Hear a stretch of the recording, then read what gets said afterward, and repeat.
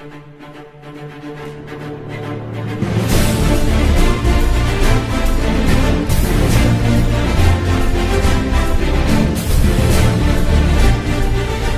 guys, 22 Plinkster here. It is time for the review on the Black Pearl. Now you may have seen uh, a couple of videos of me doing some trick shots with this particular handgun in the past couple of weeks. One of those being the bottle where I split the playing card and the bottles fell down and it was pretty cool. I thought it was cool anyways.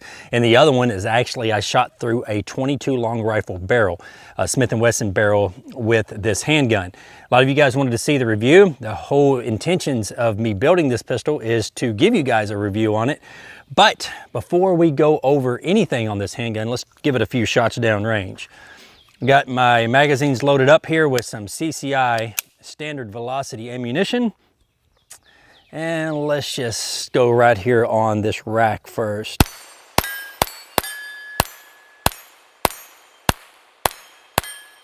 All right, all right, she shoots, she runs.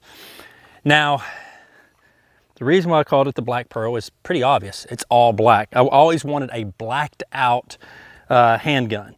Now, if you're curious of what this actually originated from, if you remember my video I did on the Ruger Mark IV 2245 Light, uh, probably about a year ago, this is it. This is that handgun.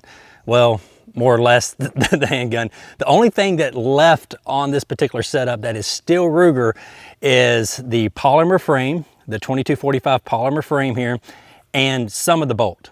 That's it. All right. Now, let me go over a few of the things that stand out on this handgun because pretty much I've replaced everything on it and it's kind of a lot of information. Let's get into it. First and foremost, the barrel, okay? Uh, this is Volquartsen's LLV six inch barrel. The Volquartsen LLV barrels come in four and a half and also six inch. Now you get a lot of features on this particular barrel. This particular one is the six inch and they also make a four and a half inch. If you've seen my ultimate Ruger Mark IV video, you have seen the four and a half inch, but this is the six inch. And also um, on the end here is Volquartsen's compensator. This compensator does a wonderful, wonderful job of keeping the muzzle down. Uh, other things on this handgun is designed to take some of the recoil and the muzzle flip out. And I know you're probably saying, why in the world do you want to take some of the muzzle flip out of a 22 long rifle? It's a 22 long rifle. Well, this is not your backyard plinker, okay? This is set up for competition uh, it can be set up for like bullseye matches. And when you're shooting speed, just, uh, just a fraction of an inch of muzzle flip can cost you winning or losing a uh, match that you may be shooting because you want to get on your target as soon as possible. So if you can minimize that muzzle flip as much as you can, uh, you have a better chance of winning. But this compensator does very, very well um, of keeping that barrel down when you shoot. And also it has an integrated rail right here on the top so you can mount you a red dot um, or anything that you want to mount. And right here is Volquartsen's um, tried and true sights. Okay, these sights are fully adjustable for windage and elevation. They are blacked out sights, target sights, very, very, very good sights. Um, I highly recommend them. On top of here, we have a Leupold Delta Point Pro. Now this is a one MOA uh, red dot and I prefer a one MOA red dot when I shoot precision. I don't like a three MOA or a five MOA and certainly not like a nine MOA, but this is a one MOA red dot. And I, have been using the, the Delta Point Pros for a couple of months now, and I'm really, really becoming very fond of them. Um, I like the sharpness of the red dot and I like the clarity of the screen. Now that we went over everything from here to there and from down here up on this handgun. It's a lot of information on this setup. I've built a lot of stuff in here. Let's shoot some more targets downrange. All right, I got another magazine loaded up. Let's start right here with the Challenge Target Dueling Tree.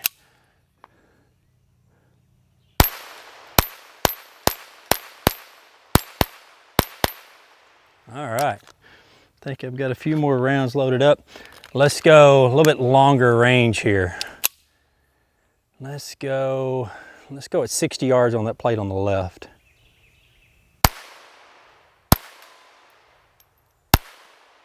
Can you hardly Can you hardly hear that 22 hitting that target? But this handgun will flat out shoot. All right, now let's go over, I guess, let's finish the upper half of the handgun. So right here is the TandemKross Halo. The reason why I put this TandemKross Halo on the back of my uh, Mark pistols is it's pretty simple. It's very, very easy to find this loop, pull it back and, you know, put another round in the chamber. In case if you do have a misfire or a failure to feed, it's very easy to just to grab it, and pull it back with one finger. Also, if you have, uh, you know, arthritis in your hands or if you have a weak grip and it's hard to grab the sides of these little bolts, these little ears on the side of a Mark pistol, a Mark series pistol, this TandemKross Halo does very, very, very well. Like I mentioned before, it is on a 2245 frame. If you don't know what a 2245 frame, it's basically the same grip angle as a 1911, okay? It's not like your other Ruger standard uh, grip angle uh, on their other Mark series pistol. This is the same grip angle of a 1911. So if you have a 1911 and you want a good trainer gun, you know, you may want to consider the, the 2245. The grips, these are the TandemKross Hive grips. These are the new grips for the 2245. I really like these grips. They're a very soft rubber and they have molded out here on the front for your finger grooves. So you can get a really, really good purchase. It just feels very well in your hand. Uh, these grips aren't very expensive and they are light years above and beyond the factory grips, grips that you can get on the uh, Mark 2245 uh, Mark IV. Another cool little feature on this handgun are these two rests, okay? A lot of times people have problems where to put their thumbs when shooting a semi-automatic pistol. Uh, you know, you both wanna have your, your thumbs forward like this right here, and these are thumb ledges uh, that you can put your left and your right hand thumb. This one right here is stationary and it does not move. And it's basically you replace the bolt uh, that locks in uh, the tongue for the upper receiver and you have to push out the pin that holds down the trigger bar and everything else. Uh, it takes a little while to install, but TandemKross sent me these both of these thumb ledges to try out. And I tell you what, I'm gonna probably replace them on my other 2245s that I have because I really like them. My thumbs don't slide. And when you're locked in with these grips, and you're locked in pressing down on these thumb rest, it locks the handgun in very, very well to your hands. Also, this rear one is the safety. So it's very easy to get up if you're shooting a competition. It's just brush your finger down or your thumb down on the safety here to take it on and off safety. So that is a very, very good feature. And plus it gives you some room to put your thumbs and they're not dancing all around the handgun when you're shooting it. Next on the list is the trigger. Now inside of this 2245, I have a Volquartsen accurizing kit. Okay, that replaces the sear and also the, uh, the bar. It also replaces the hammer. And if you've ever shot a uh, Volquartsen trigger in a Mark series pistol, you know it is a must. They're, I think they're around 140, 150 dollars, somewhere around there. But it will take a five and a half to six pound trigger down to like a two to two and a half pound trigger, and you can adjust your uh, the, the take up on the trigger and also the over travel. Now, this is not a Volquartsen trigger face. Now, I do have the Volquartsen accurizing kit inside of this handgun, but I wanted to try something. This is actually the TandemKross trigger face, okay? Just the trigger part, none, none of the internals. The TandemKross trigger face, you can just replace that on your Mark IV without replacing any of the other stuff. You can just get a different flat face trigger face. Uh, but if you do that, it does not lower the poundage of the trigger one bit. So you're still stuck with a five and a half pound trigger. But if you parry this trigger face with the accurizing kit from Volquartsen Winter Winter Chicken Dinner, it's a good setup. Um, I'm trying it out. I'm, I'm, liking it. I don't know if I like it better than the regular Volquartsen trigger that the Accurizing kit comes with, but if you like a flat face trigger, uh, you will enjoy this trigger. When I received this handgun and I replaced everything that you see here, also, I forgot to mention inside the bolt here, this is a Ruger factory bolt, but not everything inside of it is Ruger. I actually replaced the firing pin with a Volquartsen firing pin and a Volquartsen extractor. So I always do that uh, when I build a gun, I want to go with a good firing pin and a good extractor. So, because you're only as you know strong as your weakest link. If you spend all the money on here, the extractor and firing pin's not very much. You might as well replace them and get a much higher quality than the Ruger factory firing pin and extractor. But when I first got the handgun, I replaced all of this stuff, and it would not work. It was very, very frustrating.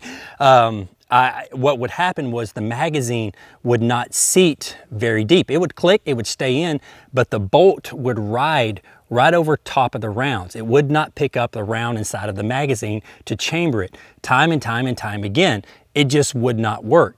And to find out what the problem was, was a magazine release. The magazine release was not locking, the, the Ruger factory magazine release was not locking this magazine up tight and allowing the bolt to pick up a round to put it into the chamber. So once I replaced this magazine release, uh, the standard Ruger magazine release with the Volquartsen magazine release, no problems, no problem. This magazine locks up extremely tight. It picks up every single round. It does what it's supposed to do now. I've blabbed about this handgun long enough. This is a race gun. Let's shoot it. All right, let's start over here on these red plates.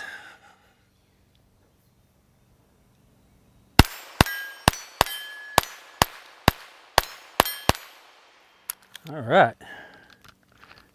Let's go out there at 100 yards with it.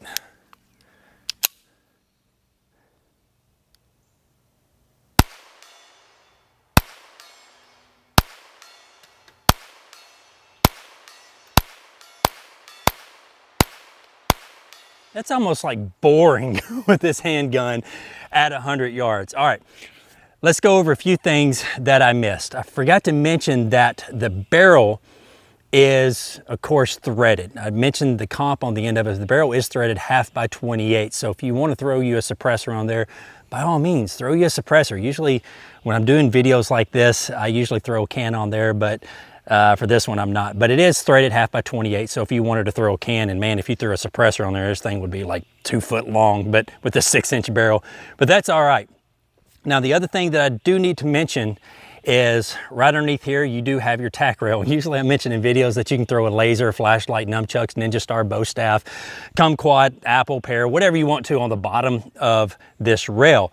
Well, I so happen have a Crimson Trace uh, laser flashlight combo. This is the Railmaster, and I do not, or did not to this point, have a 22 long rifle that had a laser or a flashlight mounted on the bottom of the rail. And I live out in the country, I live on a farm, and sometimes you have to do you know, pest control at night. And so I was always looking for a flashlight or knew where the flashlights were, but I had to go get it and go get the handgun uh, to do some critter control at night.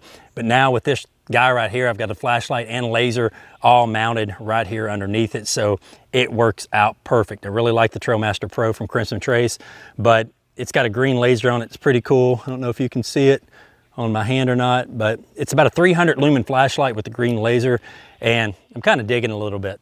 I think we've went over everything that is on the Black Pearl, but you know, between the, the upper and the optic and, you know, the fixed sights, if you want to use that, and the bolt and the TandemKross halo and the Volquartsen trigger and, you know, the Railmaster Pro and the grips and the magazine release. I think we've went over everything. Let's do some more shooting. Now, I went with the six inch barrel on this for a, a reason.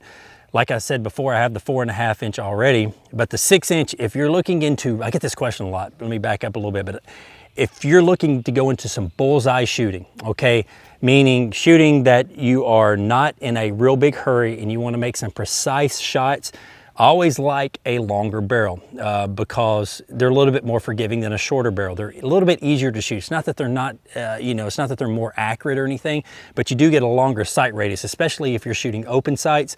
A longer barrel, you'll be able to shoot it better at longer distances, usually. But I went with the six inch barrel on that. Now I've got down here a uh, challenge target, bullseye target. I did a video on that target good grief, probably about four years ago. And if you're familiar with that target, I actually helped design that target for Challenge Target. Inside of there is a three quarter inch hole and you've got to go hey diddle diddle right down the middle to make that paddle flip. Now, I hope this red dot is sighted in well enough where I can hit it once or twice, and I'm about, probably about 45 feet away from it. Let me see if I can hit it a few times.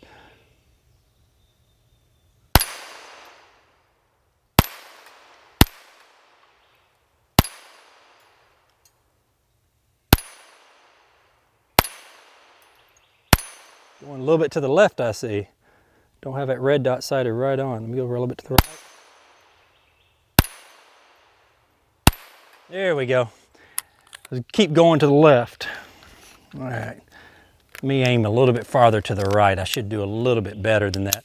Should have sighted this red dot in a little bit better before the video. Too much to the right. Oh,